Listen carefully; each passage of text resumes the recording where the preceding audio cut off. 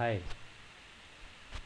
Today I am going to solve a question p raised to power p raised to power p raised to power p minus p raised to power p raised to power p divided by 1989 what would be remainder under the condition p is greater than equal to 3. So we are going to use two concepts here one is the cyclicity and one is the basic concept of even number. First condition is assume p belongs to odd or p is odd. So can I say that this is complete number is odd? Take 1989 is my base. So by the cyclicity we have to divide the base by the 18989 then the upper power by the cyclicity of 1989 we calculated the cyclicity of 19 is 48 and the cyclicity of 48 is 5 sorry 4 will work on the p and the cyclicity of 4 is 2 will work on this power and we work from the top to down process. For any confusion, please just watch the cyclicity remainder concept in the other video. Okay, first take the topmost power. P is nothing but odd. When divided by 2, our remainder would be 1. So this complete will give a remainder of 1. So if our remainder is 1, by the cyclicity what we do, we remove this power by the 1. So I am just removing this value. I am removing this value by the value 1 so our question becomes like this.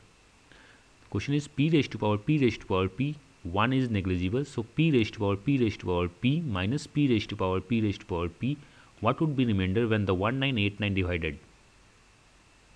So it's ppp and the ppp both are the same number that is the minus sign in the eye of cyclicity. So if this will give a remainder of k then this will again give a remainder of k.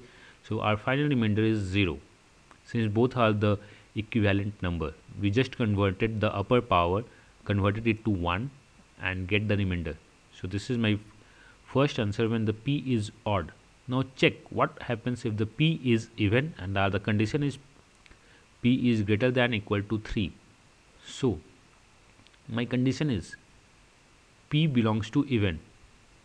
And it was given that p is greater than equal to 3 so the list p is p is even and greater than equal to 4 okay? And we also know any even like the even is either 4n or 4n plus 2 since our p is greater than 4 4n or 4n plus 2 and the same power of 4n here the power is 4n plus 2 I am writing power is the same because it's a p raised to power p.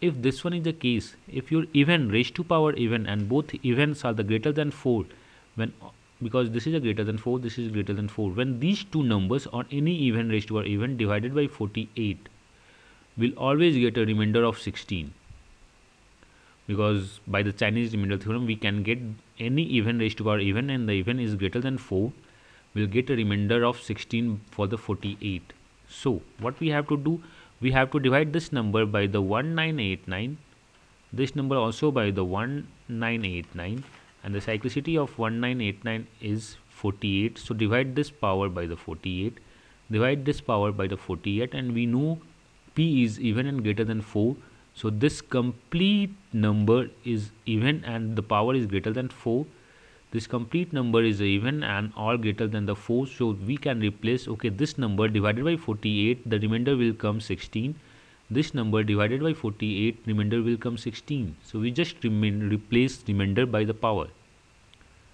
Sorry power by the remainder. So our equivalent cyclicity number would be power raised to power 16 minus power raised to power 16 for this divided by 1989 again we are getting the same numbers so complete remainder is 0 so in any case p is either even or odd. Our final remainder is 0 so we have when this number minus this number divided by 1989 under the condition p greater than equal to 3 we always get a remainder of 0 in the each case. In the odd case we replace the uppermost power and in the even case we worked on the second base that is 48 okay? I hope it is clear. Thanks